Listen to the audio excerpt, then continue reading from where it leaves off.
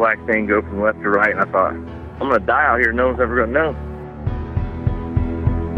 I couldn't believe what my eyeballs were showing me. I'll, I'll never forget how evil the eyes were. It was horrible. I mean, I've never seen nothing that evil. It ran towards me at, at a rate that I, I, I can't even explain, turned and stared at me. And this look of, I just want to kill you. I want to say it was human, but it wasn't. He was, he was, he was yelling at me to grab a gun, grab a gun. I was like, for what? He said, just grab a gun. And there's footprints all the way to the door of my house. It had went inside my garage, all the way to the door. 911, what are you reporting? Jesus Christ, you better. Sir? Zio, Hello? get somebody out here. What's going on now, sir? That son of a bitch is about six foot nine, I don't know. Do you see him now, sir? Yes, I'm looking right at him. Uh-oh. You're listening to Sasquatch Chronicles. Check us out online at sasquatchchronicles.com. If you've had an encounter, email me. My email address is wes at sasquatchchronicles.com.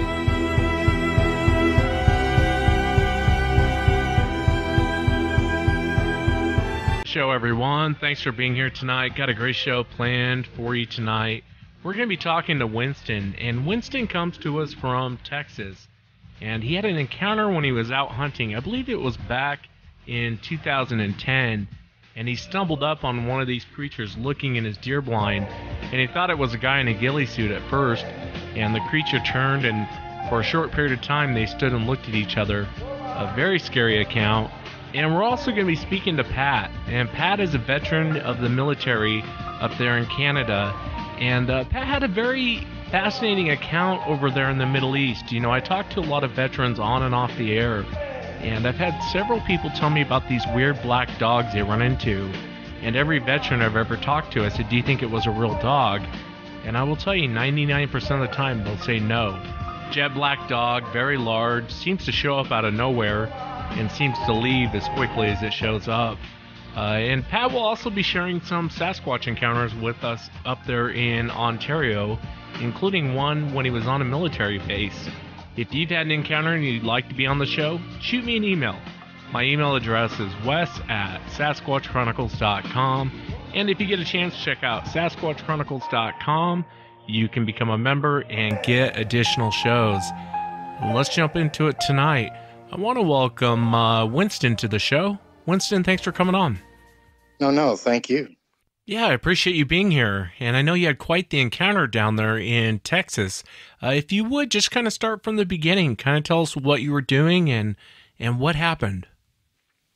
Uh, the second, no, the second Saturday of November, uh, at about in between three and three thirty, I was going for a late hunt and was going to sit there until till dark in my deer blind that was set up out in a in the woods in a on some land that we hunted on. And I headed out to go hunting after I loaded up my gun and get to the deer blind. And I always took the I always walked through the woods instead of taking a deer trail that you could follow. And it lead it led to where you could just step off of that and go right into the deer blind in the back but I I didn't like taking that because if deer traveled that I didn't want them want them to smell me. So I would always walk right through the woods straight ahead and go to a fence line and then turn left and follow that to the deer blind. And as soon as I hit the woods, I smelt a smell that I could only, I can only uh, describe it as uh, a wet dog that had never known a bath mixed with a dead animal mixed with a porta can that has never been cleaned and it's filled with piss and crap all the way to the top of the rim of the commode. And it just it was foul. And i was because i figured it might be a dead animal and it would screw up my hunt that day. I was looking for it as I was walking through the woods. And I could, I mean, I would stop and be, Jesus, what is that smell? Looking around and I could never find it. I just kept going and kept going. And I got to the, to the fence line and then took the left and started following the fence line. And I was probably, I want to say 50 or 60 yards from the, from where you step into the woods to get in because the deer blind was, I mean, between the fence and the woods, there was like a five or six foot spread of just a, a clear patch. And just you you would have to step maybe three steps into the woods and to get to the deer blind and uh, I, I was probably 50 or 60 yards from it and it looked like somebody was bent over and looking through the window had their head in in my deer blind of the the window of the deer blind and in my head i thought oh my dad's here. I didn't see his car. And i walked about 10 more yards and I said, no, that's a, that's, that's a big guy. That's, that's got to be some, uh, another hunter. So I popped my gun off a safe and I took maybe 10 more yards, 15 more yards and got closer and said, no, that's somebody in a ghillie suit in my head. I'm saying this. And I get a little bit closer and I said, no, that's some dummy in a Bigfoot suit. And that's a good way to get shot by somebody like me. And about that time, I, I was probably between 25 to 35 yards from it. And it either heard me or smelt me. And he pulled his head out of the tent and stood straight up. And that, that shocked me and froze me right where I stood. And I was trying in my head to figure out whether it was a guy in a in a Bigfoot suit or a real Bigfoot. And I mean, before two years before Andre the Giant died, I ran into him in Abilene, Texas, coming out of the kettle. So I've met Andre the Giant before, and he was seven foot six. He was a big guy, and whatever this was made him look like a little guy. So they don't make people that that big, and I could see the muscles underneath its fur flexing and working. I could see, you know, any any time it breathed, I could see underneath its fur moving. So I knew dead gum well it wasn't somebody in a suit. That was some something real. That was a real creature. And we probably stared at each other for what seemed like forever to me, but it was probably about 10 15 seconds and i didn't move. I was frozen. So it stomped the ground and did a grunt growl like and when it did that i bet you i jumped about a foot in the air and but i stayed frozen in, in fright and fear.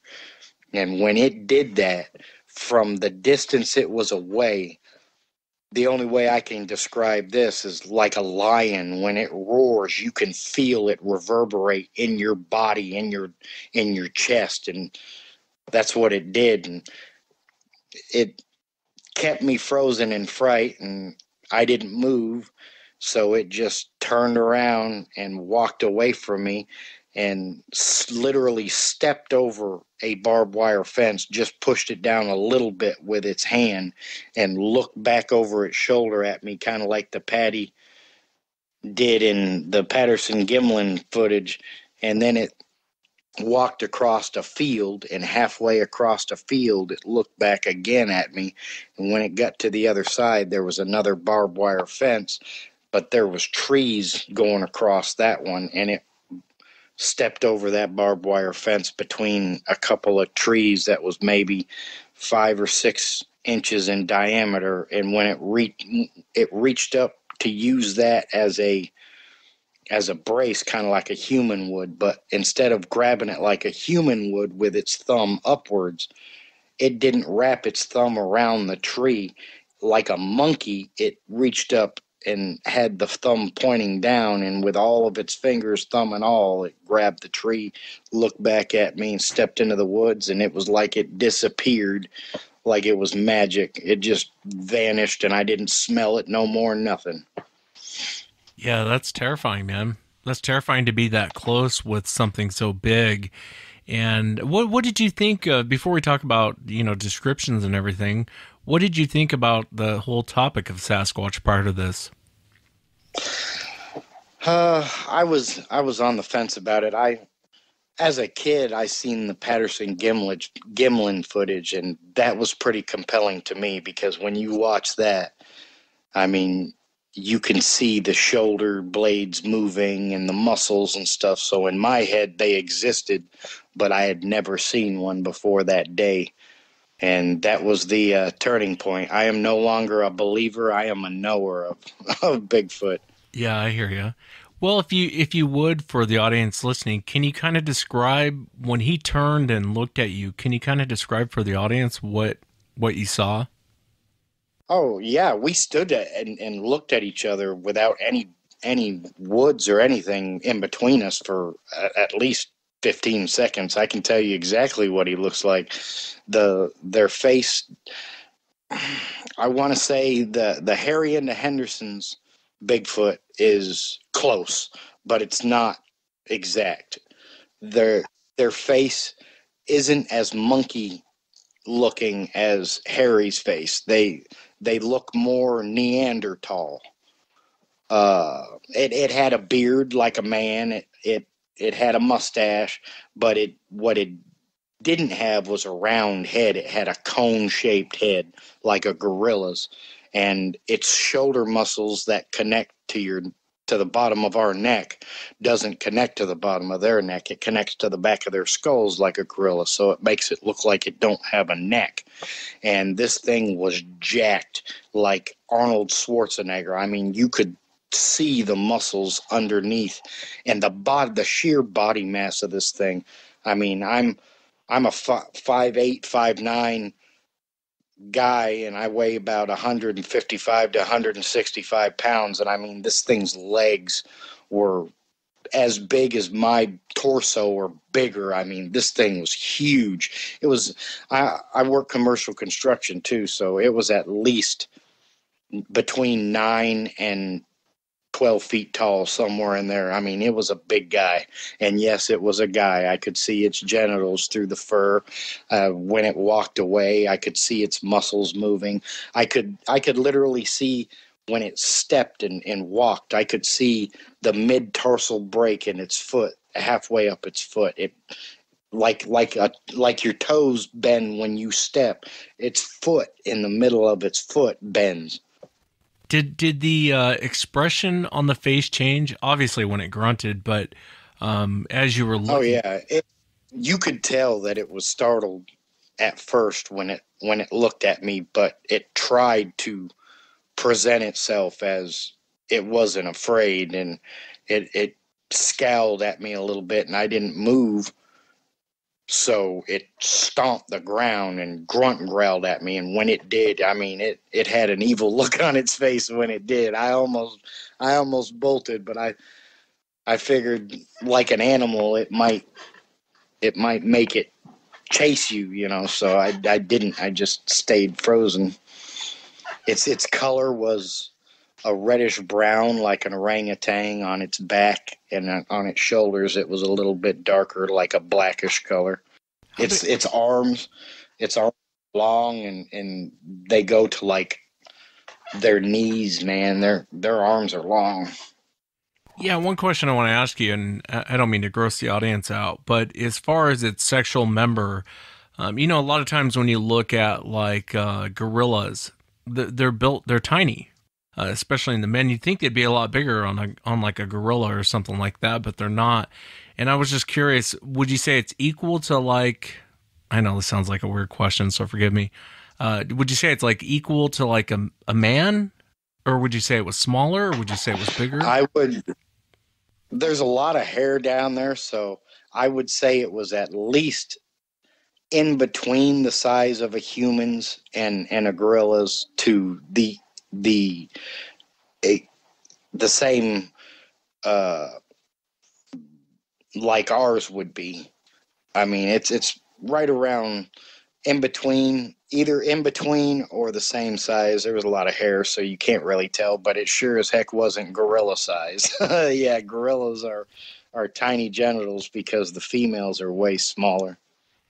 Yeah, and, and I was just, I don't mean to go off on that. It's just curious when people actually see the genitals. I'm curious on what people are seeing. I don't know why. Uh, maybe because when I see like a gorilla, anyway, I'll change the topic. Um, it's all right. um, it, it, makes you wonder. Do you think it, it was your deer uh, blind set up for a long period of time, or had you just put it up? Oh no, it had been set up for since uh, since September. We always set our deer blinds up prior to the hunt so the animals get used to them. And actually, two days prior, I was in the blind, and around 10 o'clock in the morning, a buck was chasing a doe. It was they were coming towards a, the fence line that I walked down. There was a spot in the field where where the deer we could we set it up there because you could get a shot at deer coming over the deer blind. And i thought to myself you know when this buck jumps over this fence i'm going to plug him. And the doe jumped over the fence. And as soon as it did as soon as it hit this side of the fence it immediately jumped to the right over that fence that the sasquatch through the trees jumped through. And the buck come over chasing her. But as soon as his front hooves touched the ground, I mean, he immediately jumped back over the fence line and took off. And I unzipped the tent and got out to get a shot because I seen him stop. And I pulled up my gun to get a shot. But when I did, I was looking at him and he wasn't looking at me. It was he it was looking past me. So I literally just put my gun down and turned around and was trying to figure out what the hell spooked it. But I could never see it. And to this day, I think that Sasquatch was there watching, but I never could see him. Yeah, the behavior is really fascinating to me. It's it's almost like this thing was curious to see if you were in that little deer blind or not, yeah. and he wasn't paying attention to his yeah. surroundings. Yeah, a couple of days after that, when I walked up on it, I think that it was checking to see if I was in there, and I wasn't in there, so it stuck its head. I'm I'm just speculating this, but you know, being being curious, I think it once it realized that I wasn't in there, it stuck his head in there and was looking to see what was in there. Because we left candy bars and stuff in there, you know. The creature too, you know, it's it didn't attack. How it, it was almost like a warning, like uh, you see guys in bars that want to pick a fight, they always puff their chest out and they usually tend to run their mouths, but they're the last guys to do anything. And the Sasquatch kind of, I know it's a bad comparison. The Sasquatch kind of reminds me of that because it kind of did like a jerky motion towards you, stomped and growled, and you didn't leave. So it decided to leave. Thank God. Yeah, yeah. I think he was bluffing me, but then again, I'm, and and I had a gun with me is what what drives me crazy. Now, if I could turn back time, I would have tried to shoot it but at that time i was i was trying to go through my head trying to figure out whether it was a, a person because it looked so human like in the face or whether it was a creature. But i mean now i, I know and it's not like i want to go out and kill the species but in in we have since that time, I have really gotten into watching Sasquatch documentaries and stuff. And I mean, it, it's like we have DNA evidence that they won't recognize because it's so human like. We have hair that they won't recognize. We have footprints that they won't acknowledge. We have hair samples that they won't acknowledge. And to me, what we need, the, the only way you're going to get them to to believe anything is if you bring one down to validate the species. Yeah, I tend to agree with you on that, if you can get it in, but I, I tend to agree with you. I, I think that one should be shot, and I think that uh, in a safe way, and I mean safe for you, not for it. Um, and I think with you know like Grover Krantz, the late Grover Krantz, he his whole take was one should be shot and brought in, and people used to argue with him all the time. Well, what if you know it's an endangered species? And he said if we kill one and bring it in, uh, and that destroys the species, well, they're already in trouble, you know, and so there's no sense in. And these things have been shot. I've talked to hunters who've shot them, uh, but you have to be Oh, yeah. careful with that because even though uh, I tend to think that they travel in groups, not necessarily, maybe not together side by side, but if you see one, there's probably two or three others nearby. Um, Yeah, you know. yeah. I've uh, I've watched some documentaries, and it, it seems to be that they have family groups that they travel in, and and uh, I'm I'm kind of glad that I didn't raise my gun because you know I was looking at this thing, but who's to say there wasn't one right there in the woods watching me? Yeah, and I think that's what you have to. There seems to be a revenge streak in these things, and you hear a lot of accounts like Yeah. that. Uh, what part of Texas did this happen? And you don't have to give a, the exact location. Was it East Texas or was it? Uh, it was close to. It was right around outside of Austin. It was uh, in Central Texas. I lived in uh, a county called Bastrop County, and we hunted on some land way outside in in a in a region called Muldoon. And I, I can I actually can can describe how to get there.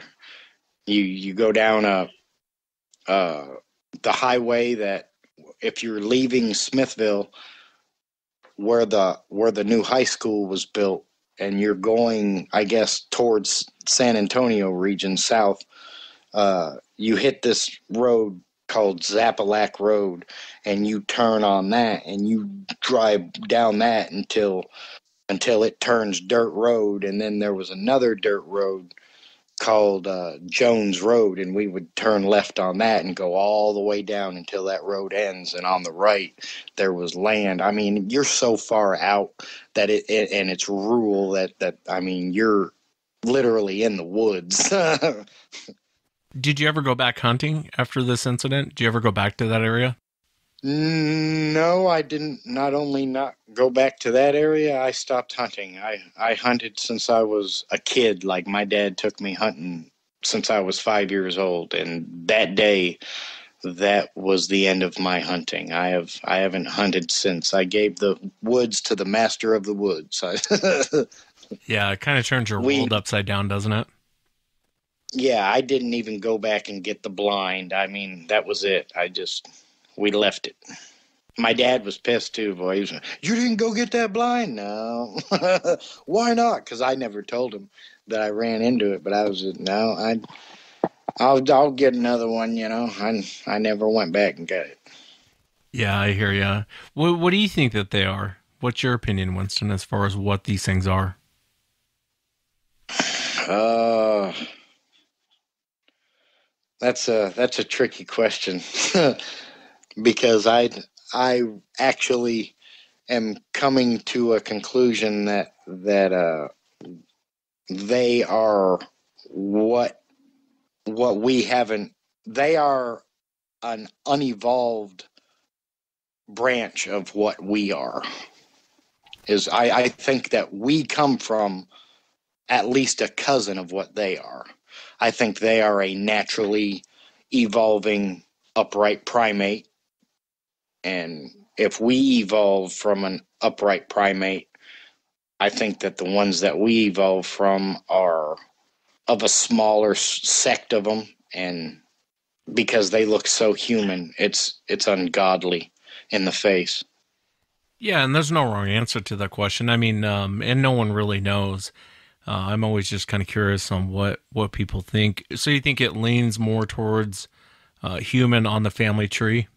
Is that kind of what you're saying? Oh yeah. I, I guarantee you it's a cousin at least. Yeah, you could be right. You could be right about your your theory, and like I said, there's no wrong answer.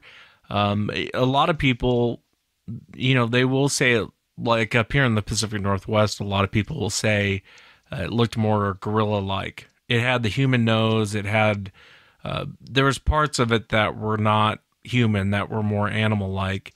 And then you do get the reports of people who say it looked more like a chimpanzee in the face. It had the human nose, it had big black eyes. And then sometimes you uh, you do run into a lot of people that say it looked human. I've heard exactly what you said. Had it, looked like a man man's face but on a animal's body is what a lot of people say. It's, it's it really it's it's got a a big brow, so like a Neanderthal's, and its nose is more human like than than than primate, but it's wider and and it's got bigger nostrils.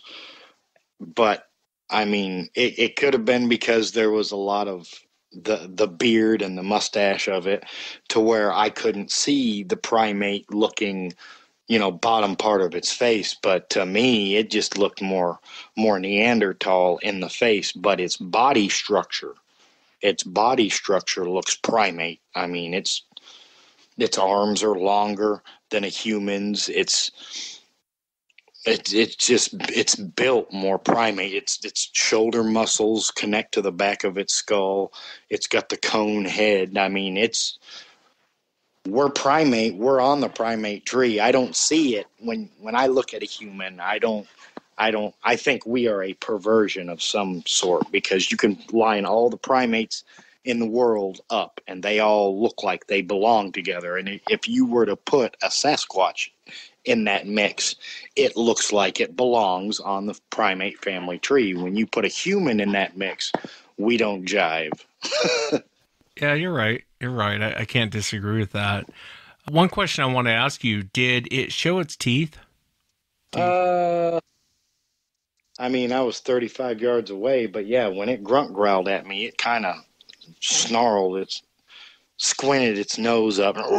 Yeah, I guess I could see its teeth a little bit. I can't tell. I mean, it. I can't. No, I, hear can't definitively say what they because it was 35, 40 yards. Well, 25 or 35 yards away, but yeah, I, it had teeth. Yeah, and it just shows the intelligence of these things, you know, to um like like you said earlier, kind of bluff you, you know, and and uh, sometimes I wonder if they do that to see what you're going to do. And I think if you make the wrong mistake, you're going to pay for it. I think the fact that and luckily us as humans when we become terrified, people freeze. When you have real fear, people freeze.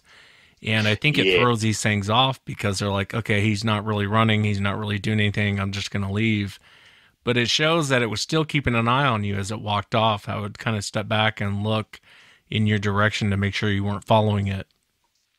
yeah, yeah, it, it's it terrified me. I've never been scared in my life like that. That was a once in a lifetime ordeal.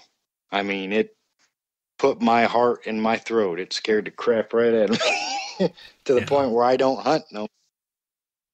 Yeah, and I hate to hear that. It's kind of a shame. I'm I'm with you on that though because um, you know these things are out there and it makes you makes you a little concerned. Maybe the next one won't bluff you; it'll actually come for you. Yeah, especially in Texas, they seem to be a little bit more aggressive than than the tree hugging Oregon Sasquatch. Yeah, I'm not so sure the Oregon ones are tree hugging, you know, loving your forest brothers either, but I tend to agree with you. I think in Texas they seem to be more pissed. And I would be more pissed too if I had to live out in those woods, man. It's brutal out there in the summertime and everything wants to kill you. in Texas, I think that they're just they've been they've been uh, pushed out of their habitat so much because the population of humans are growing that that they're having to rely on living in swamps and and way away from way out in the middle of nowhere and I think they end up interbreeding that's why you see some in Texas that have three toes and messed up feet and stuff but that's just a speculation from the uh, observations of the documentaries that I've seen since my encounter. Yeah, I hear you. Well, I appreciate it, Winston. I mean, it, it was quite the encounter. And, you know, when you're toe to toe with one of these things, it, it's an eye opener. It'll turn your world upside down. But uh, I really appreciate you coming on and, and sharing what happened to you. Oh yeah, for the for the first uh, I want to say for the first year and a half to two years, I wouldn't tell anybody about it. But now, I mean, I've gotten to the point where you know I'm not I'm not afraid to to uh, to tell the truth about what I saw. I mean, that's I I know what I saw. I've I've been hunting since I was a little kid, and I'm not going to lie about it. If somebody wants to know, I'm going to tell them whether they call me a liar or not. Man, well, you think I'm a liar? You go out in the woods, and and a lot of people tell me, you know, they don't exist. What the I've never seen one, and I'm like, yeah. Do you hunt? Well, yeah, I hunt. Really? Well, let me ask you this: How often do you see a bobcat or a mountain lion? Well, I've never seen one. That's right, because they're elusive. the show, Pat. Thanks for coming on. Oh, it's an honor to be here. Thanks for having me. Yeah, the honor is mine. Um, and I know you're a veteran, and I know you've actually had a few Sasquatch encounters out there in Ontario. One of the things I wanted to start with was uh, in Afghanistan and these black dogs, because I've actually I do have a military audience that does listen, and I've had a lot of military guys tell me strange stories about these black dogs. So if you would tell us about what what happened in Afghanistan.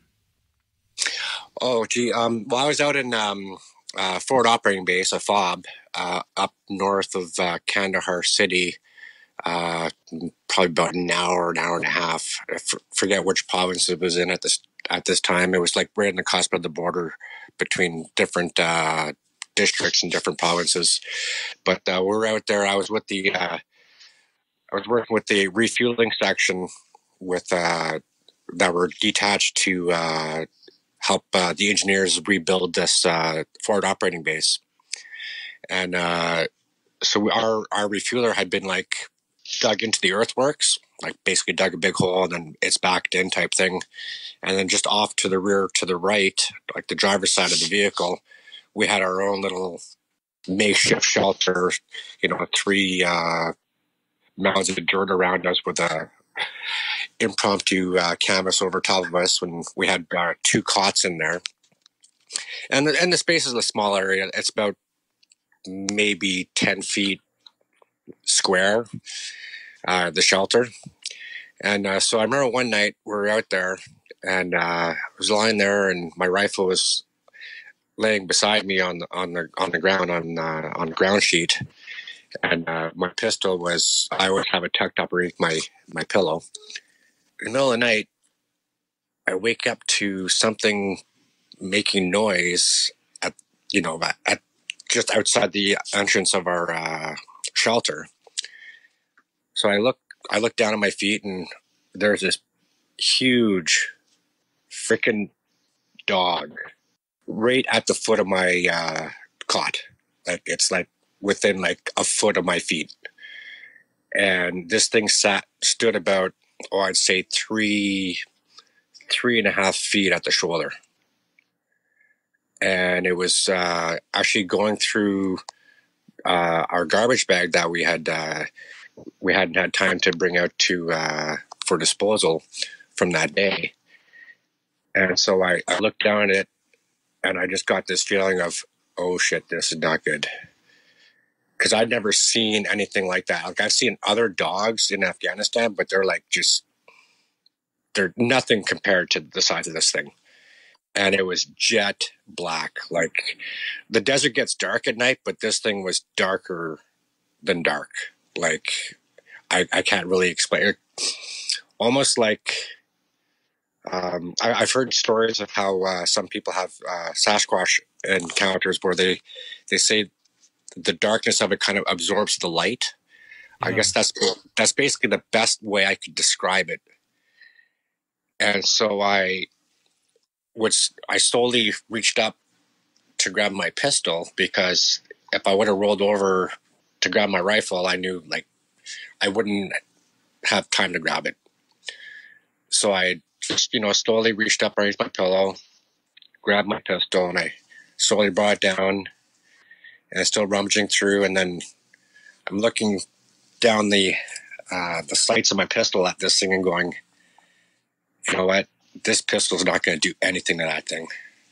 And uh, we're our service pistols up here in Canada uh, are uh, nine millimeter So I'm thinking, no, this thing is not doing anything to this animal. And then I guess it noticed my movement or whatever. And I just this this growl, like um, how can I best describe it? Um, like deep in his chest, like uh, like I've heard dogs growl, but this was very very deep. And then I saw the the flash of white teeth, and I'm like, how the hell is this possible? Like this thing is so black, it's pitch black outside.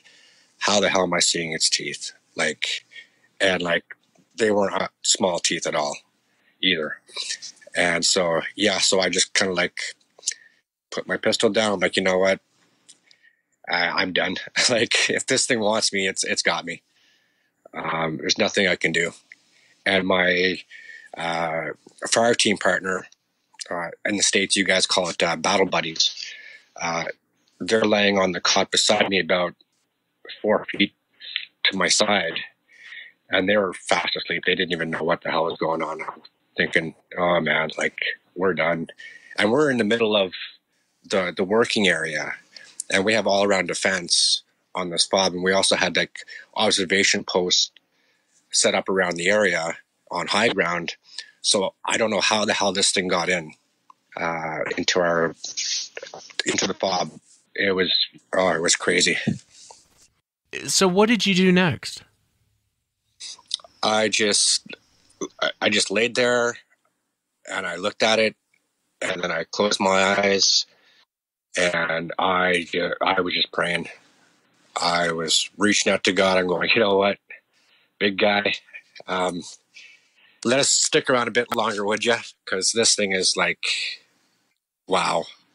I thought for sure we were goners, and I just closed my eyes and just prayed and prayed and prayed, and then I'd say 10, 15 minutes later, I didn't even hear this thing leave. I opened up my eyes and the thing was gone. Can I ask you what what do you think it was? Do you think it was actually a real dog, or do you think it was? I mean, what's your opinion on as far as what it was? I it had the appearance of a dog, like a very large dog. Like I said, it, it sat, it stood three three and a half feet at the shoulder, and you know had long, dark fur, um, and definitely canine teeth. I didn't. There was no eye shine or eye glow because there was no ambient light where we were. It was some type of creature. I don't know. Like it looked like it was uh, quadruped. So I didn't even hear this thing leave. Yeah, I don't know what that is. You know, like I said, I've talked to many soldiers who've seen this thing, and it's very close to your description. I mean, they describe it as bigger than your average dog and jet black. That's one. That's the two things I hear a lot. It, and I remember one guy. He was in a tank. You and I were just talking about this before we went on the air. Uh, he was in a tank, and this was in Iraq. Um, and they were out in the middle of the desert. It's the middle of the night, and um, I think that they saw them. I don't remember how they saw them. I think it was with the night vision. Um, and these three dogs showed up, and that's the other thing I, have heard a lot, where they show up in groups of three or sometimes just one. Uh, but they're jet black, they're big, and they kind of surrounded the tank. And you know, one of the the infantrymen told me he goes, you know, we run into uh, dogs out here all the time. I mean, they run around, and it's just a different culture regarding dogs. Uh, but he goes, this thing, I don't know what this thing was. Um, so it makes me wonder. And then I've heard other soldiers tell me that it's a jinn. I don't know if they have that. They probably have that in Afghanistan. Um, yeah, I've, I've heard of that in Afghanistan. The jinn. Yeah, they're talking with the locals through the uh, the interpreters. Yeah, and I've heard that they're the jinn. These dogs are the jinn. Um, but they're weird and they they grab guys' attention because a I think of the size and then b everyone I talk to and it, there's been guys have seen them in the middle of the day and say they're jet black, they're really fast, they tend to just show up and tend to just disappear. Makes you wonder what that thing is. Oh yeah, definitely. Because I know like as soon as I realized it was gone, right away I like you know, in a loud whisper, I got my uh, my fire team partner up, and I said, you know, cover me. I got to check something out. So he grabbed his rifle and I grabbed mine. And when I p- pulled out my uh, my red light, because we don't use uh, any white light in uh, in theater, and I could see no tracks. The dirt was very, you know, you could see tracks. If there was, if you would walk, you would see your tracks. Like it wasn't like it was hard pack uh, dirt. It was very soft and malleable. But our garbage was completely strewn all over the, uh, the about three four feet around the garbage bag, and that was that was the only evidence that it was there. Yeah, so strange. Did you tell? Did you talk to anyone else about this besides your battle, battle buddy or what, whatever you guys call it, your partner? Uh, did you tell anyone about this encounter? Oh hell no! Who the hell is going to believe you? like it's it was the first time I seen it, and I hadn't heard anybody else from the battle group who had seen it, and I had, you know, I had friends all over the battle group, and nobody said anything to me, and I was like, yeah, Yeah, it is fascinating. I, I'd love to know what it is because, like I said, I've talked to two dozen veterans that um, have seen it, and every time I ask them, "Do you think it was a real dog? You just just a big dog you ran into?" Um, I, I haven't had one person tell me that they thought it was a real dog. They always they won't generally they won't say what they think it is, but they'll say, "I I think it was more of an entity," or "I don't think it was a dog." Um, and it's weird it takes that form over there as a dog. Because, you know, I don't think that we've, I don't think I've ever heard anyone say something like that. I mean, we have dogmen and that sort of thing. You know, I'll get reports of that. But this sounds like a hybrid dog spirit entity that just seems to show up. Oh, this thing was on all fours. Like it did not it did not walk bipedally. It was on all fours. Like like I said, at the, at the shoulder, it was three three and a half feet tall, and then you know probably tapered off maybe four or five inches towards the rear haunch. Can I ask you, was there any anything else you saw over in Afghanistan that was just odd? I know it's kind of a weird question, but um, was there anything else that you saw over there that stood out to you? Mm, not really. Not that comes to mind. I probably, you know, after I off the phone with you, uh, I'll probably think of something. But yeah, uh, no, uh, off the top of my my mind, that's the only thing that really stood out for me. Um, like I was, I was completely flabbergasted by this thing. Like it was, wow, just crazy. Yeah, I hear you. I would have been too. I would have been too. It's strange that it left physical evidence. Um, and I've heard that too. Not so much tracks, but you know, getting into garbage or doing what you would think a dog would do. But again, everyone I've talked to doesn't think it's a physical dog. Well, that's the thing, right? Like I'm thinking, okay, well, it went through the garbage. Why are there no damn tracks? There was nothing. Just our boot prints from the night before. It's so strange. Well, tell me about your. I know we're going to talk about three encounters. Did all of them happen in Ontario? Uh, one happened on a training base uh, here in Ontario. The other two were on the uh, Quebec side. Okay. Um, well, let's kind of go in chronological order. I know one of them happened when you were very young. Um, kind of tell us what you were doing and and what happened. Oh, so as I was growing up out in the country, uh, I must have been about 12, maybe 13 at the time.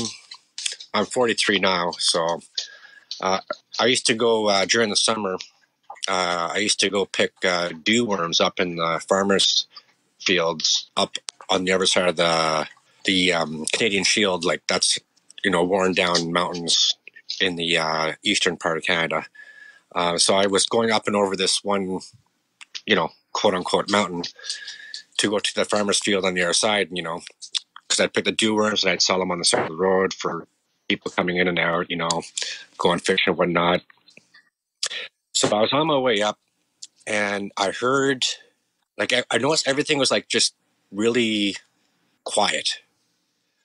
And then uh, I heard like this really, really weird sound. Like it was like um, I don't know if you've had anybody relate this sound to you. It was like um, uh, how can I? How does it go? It's like um, like a pew, pew, that kind of like that kind of sound, but more more elongated, like a pew type thing. It sounded really weird, and I was like, "What the hell is that?" So then I got this sense of like I had to hide, like I had to like find cover, and so there just happened to be a down log right there, and crouched down behind it, and then within 10, 15 minutes, the feeling completely subsided, and I just turned around and went back home. So I have I I know that there's been uh, reports of uh, UFOs up in that area. Um, I've been told Sasquatch are up in that area. Um, so I don't know what it could have been. Yeah, it's strange. I know um, sometimes with uh, a lot of Sasquatch encounters, you'll hear uh, people say, you know, what I what I heard was kind of mechanical. Uh, yeah, yeah, that's it. Yeah, mechanical. Yeah, yeah, and and you'll hear that a lot. I've heard that here mainly in the states a lot, where eyewitnesses will say, "Yeah, it didn't sound, you know, it sounded mechanical. It didn't sound like an animal." And the longer they stick around, the more it turns into uh, like a roar or a scream or something like that. But a lot of people say mechanical. That that's fascinating. How old were you when that happened? That, I was about twelve or thirteen, and you know what? Mechanical sounds like the best description because it was almost like a almost like a computerized mechanical type sound. Like I don't know, like it. And at the time, I'm 12 years old, so that's like 30 years ago. So, you know, you didn't really have anything except for your, uh, you know, Sony Discman, or not even a Sony Discman. You had your little Walkman or your little ghetto blaster, but you know, nothing out in the bush is going to make that noise. And um, and that bush is it's mixed forest, but it's mainly um, uh, coniferous. So a lot of pines, a lot of cedar. It's strange that you get the fe- you get that fear of you you had to hide. You know, that's kind of a a telling sign right there, as opposed to just hearing some weird mechanical noise and going about your business. Um, how many years later did your second encounter happen? Uh, my second encounter happened in '98 uh, when I was doing some uh, training with the uh, Canadian Army at a base here in Ontario. It was weird because I was out, out on a reconnaissance patrol with uh, three other guys, and we went and did our reconnaissance part, and uh, we're on the way back to uh, to the vehicle to get uh, you know extracted out of the area. And on the way, I was the rear guy in the patrol, and I could hear something following us. You know, and yeah, there's bear, there's fox. You know, there you name the kind of animals, they have them out there. And this is dead of the night, so I'm like, okay, visibility is like next to nothing. So then I tapped the guy on the shoulder in front of me and I said, pass up, we're being followed. And then so we stopped and the section commander was like, what do you mean we're being followed? I'm like, we're being followed. And he's like, okay. He goes, keep an ear and uh, let me know if you hear anything else. And then next thing you know, it's kind of like flanking us. It's on the side as for, you know, walking out of the bush. And uh, so he stops. He's like, you guys hear that? And we're like, yeah. So he's like, okay. So this is what we're going to do. He goes, get your magazines ready. He goes, we're going to do uh, what the Canadian Army does for um, breaking contact when you're a small force. Um, I'm not going to use the term because it, I don't know how, uh, if I want to say any kind of formations that we use over the radio. So it's it's a it's a technique that we use in the Canadian Army to uh, break contact with uh, a larger force. And uh, he was, you know, this is what we're gonna do, and where we're running is that way. He directed us. He goes, "You guys, as we're running, you don't stop. You just keep going that way." Next thing you know, he's on the radio. We're doing our business, shooting and doing whatever we gotta do and he's on the radio saying, "You better be there when we get there because we got to go now." and that's what he said over the radio. I don't know what the response was because I couldn't hear him. And uh, there was also that's what, the first time I smelt uh, almost like a, a swamp, a musky odor. I don't know if that makes any sense to you. It wasn't like uh, nothing, nothing rotted or anything like that. It was like a just like a, a musty, swampy uh, odor. And um, so yeah, and that was my my second encounter. Let me ask you: Did you did you guys ever talk about it afterwards? Like, what what the hell was following us? Uh, we did ask. I said, "What the hell was that?" He goes, "Oh, it was just probably just a bear." But I'm thinking, okay, well, if it was a bear, it would have made more noise if it was following us because or flanking us because bears don't typically flank somebody to, to the best of my knowledge i could be mistaken No, just you're in my right. personal experience Yeah, it's not a um, predator. A predator normally doesn't do that. A no, most known predators don't don't. If they're going to come for you, they're going to come for you. You're in big trouble. You know, they're Well, not going to sit and play games with you. yeah well however cougars will flank you and will get in front of you to do stuff but that's a cougar right that's not a that's not a bear Yeah, and you probably would have never heard a cougar. They're No, they're pretty quiet. yeah And you hear, you know, what's fa- fascinating about that, Patrick, um, is you know out here in um, like Washington State, we have Fort Lewis, and you'll hear a lot of similar type encounters. What you just told, you'll hear a lot of guys talk about that on the base, and it's a huge base. I mean, you could get you could get lost on that base. There's so much land, um, but you'll hear a lot of guys repeat that encounter to where they're out there three, four, five, ten guys and they're being followed through the woods and they can't figure out what's following them. And you know, it's not a hunter. A hunter's not going to be out there on the base following these oh guys. no definitely not because that's all restricted area right Yeah. yeah, exactly.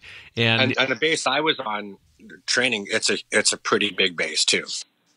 Like it's uh it's you know right along the uh, Ottawa River, so uh, it's it's a pretty significant training area. And I love those type encounters, especially from military guys. And did you guys have live ammo or was it blanks?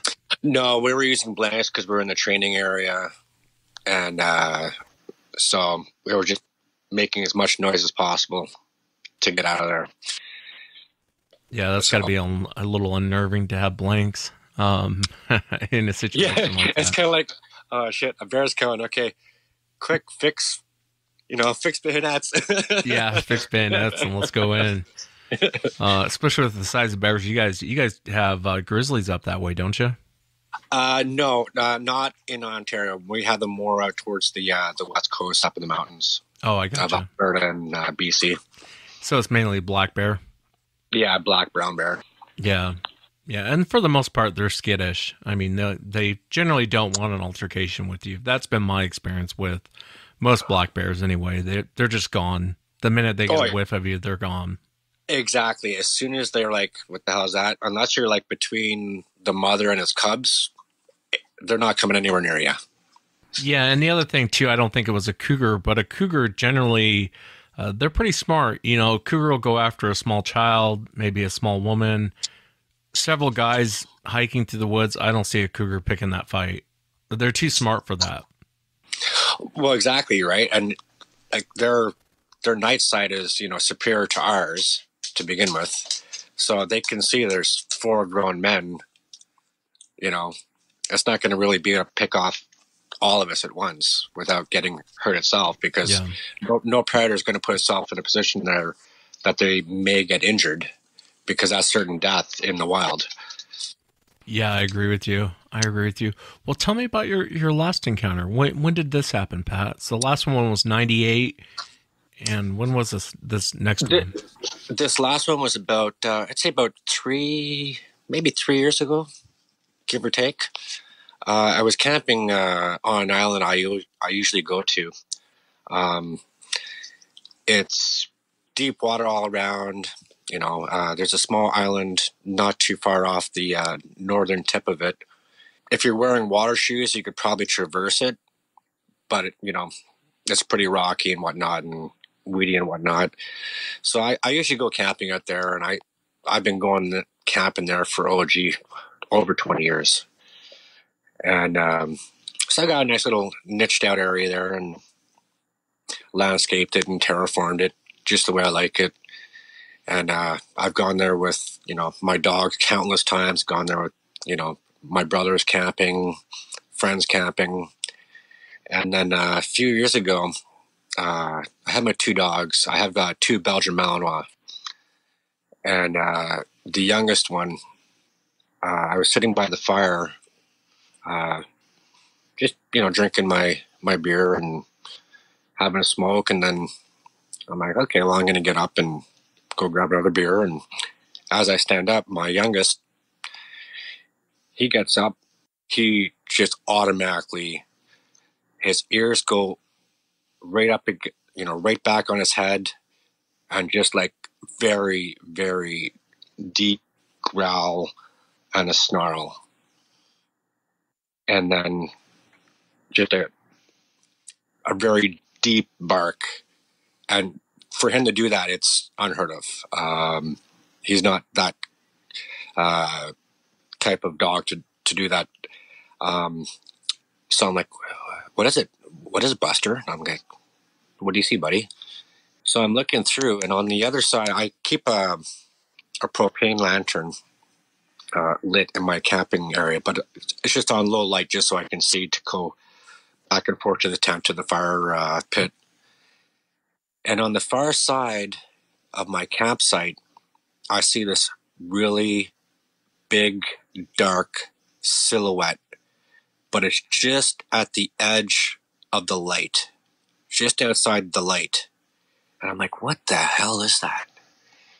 And so my machete was, you know, uh, stuck in a in a log beside my uh, my tent. So I picked that up like, so I grabbed that, and you know that again, I got that fear of like, you know, something's not right. Like this, this doesn't feel. felt very very uneasy, and you know, for, for me to to sleep with a weapon in my tent on that island is unheard of. Like I never do it. But I tell you, that night I slept with my machete right by my side. Like I had like that much, you know, fear, I guess you could say. Did your dog stop kind of growling after a while, or do you think the thing was around whatever was outside your campsite? Do you think it was there for a while? Uh, yeah, I think it was. Um, I could hear, you know, the odd branch or twig snap. Um, up on up on the hill that that uh, is backing on my uh, campsite, and um, but every time there would be a, a, crack, my youngest again he'd do that deep uh, guttural growl, and he'd always face exactly which direction you know that noise came from, and I was like. So I'm like, oh man, this is not good. Because up here in Canada, we don't have uh, we don't have uh, concealed carry or open carry, so we don't really go camping with uh, weapons at all up here, unless it's like a machete or a knife. Yeah, that's so, a little terrifying. To be honest. Yeah, especially when you see something that you know, and I'd say like this shadow was about oh easily seven seven and a half feet high was it the silhouette of like a man or was it i mean what when you say silhouette what it was like a, a humanoid uh silhouette like uh like a, yeah i guess a man you know i i could see the outline of the shoulders uh but it was just really dark and like i said just outside the light like i could just see enough but i just couldn't see enough to get any real detail i get you i understand and so I'm assuming the whatever this creature left after a period of time. Yeah, it must have because you know because uh, back that way is that's where I have my uh, my chemical toilet set up. So it's a pretty cleared out area. So it could have like turned around and walked out, and I wouldn't even heard it. Did you leave the next day? Were you like, "Let's go, Buster. Let's get the hell out of here"? Oh yeah, yeah, yeah. yeah, I would have too. I'm like, you know what, Captain Trips boys. Yeah, Copper, Copper, Buster, get in the canoe. Let's go. yeah, I hear you. Have you been back to that area since this happened? uh, I have, and uh, nothing, I nothing felt weird after that. It was just that one night. It was it was really weird, and that's the first time I felt like that on the island. Like I was being watched. Uh, that there was a pre- another presence there on the island. I hear you. Well, one question I want to ask you, what, and I ask everyone, what do you think Sasquatch is? What's your own personal opinion? Uh, see, you know, I thought I'd come up with like this really cool answer to that question because I listened to uh, to your podcast all the time. But you know, I really don't know. Uh, I, I think it's it is a creature. I'd say maybe a cross between like a primate and a human, just because of the stature, the way the, the way it stands up. Um, e- even gorillas, primates, they don't, you know, walk around forever on two feet. They do walk on two feet, mind you, but not for you know a long period of time.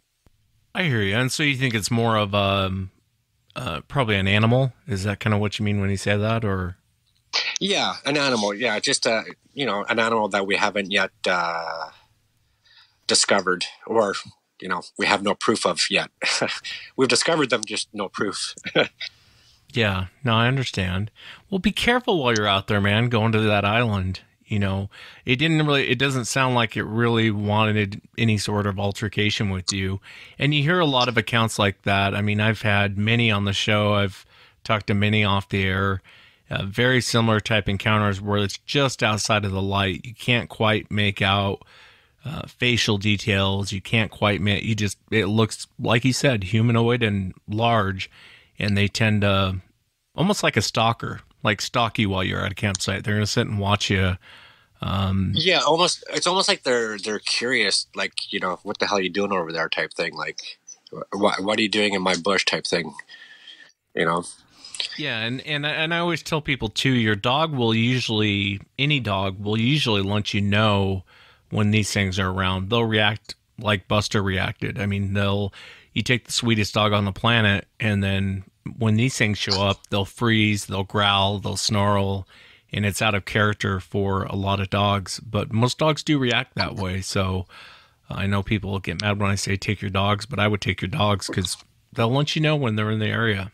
Oh yeah, and you know, and any dog that you know, if they're part of your you know family group, will let you know if there's anything amiss out in the uh, out camping or out in the um, forest because uh, they're they're going to be protective. They're they're a pack animal, right? So they're going to want to protect their owner. Yeah, I agree with you. Let me know if uh, anything else happens while you're out there, Pat. And I appreciate you coming on and and sharing uh, the different experiences throughout your life. Thank you very much. Oh, you're very welcome. Uh, I will mention though that uh, I do plan on uh, setting up some trail cams up there. I know I've heard that they tend to not show up on trail cams or something like that, but people use them as a deterrent. Uh, that's what I've, I think I've heard over your show or other shows. Uh, what's your opinion on, on that? I think that they do avoid them. Why I couldn't tell you. Um, and the reason why I think that a lot, you'll find on people's property, um, and I'll tell people buy the cheapest ones you can. The cheaper, the better. Um, and they tend to back off when you start putting up trail cams. And again, why they do that, I don't know. Because um, we seem to capture everything else on a trail cam for the most part. You know what I mean? Yeah. Well, and the thing is too, like I didn't really feel, I don't really feel threatened by it because if it would have wanted to do some, it my two dogs not dead to rights. You know, so I'm not really worried about making it a, as a deterrent. You know, I'm just trying to figure out a way how I could like try and capture evidence of it type thing. I got you. I got you. Well, let me know if you get anything with the trail cams. Um, they do. They are captured on trail cams, but it's very rare. It's very very rare. And a lot of times it's the last second. You'll get a shoulder. You'll get half of a head. You'll get uh, that sort of thing. But I, I really do think that they avoid the trail cams. And again, I can't give you a great answer why they avoid them, but they do. Okay, well, thanks for your input there, Wes. Yeah, absolutely, Pat. It was a pleasure talking with you, man. It's a pleasure uh, talking to you too, and uh, thanks again for letting me come on. And uh, hopefully, uh, some other veterans out there that uh, have seen this big black dog will come forward and uh, you know share with the rest of us uh, what they may have seen, so we can try and maybe deduce what this creature entity, uh, whatever it may be, is. Yeah, absolutely. Thanks again, Pat, for coming on. Oh, you're quite welcome, Wes. Have a great weekend.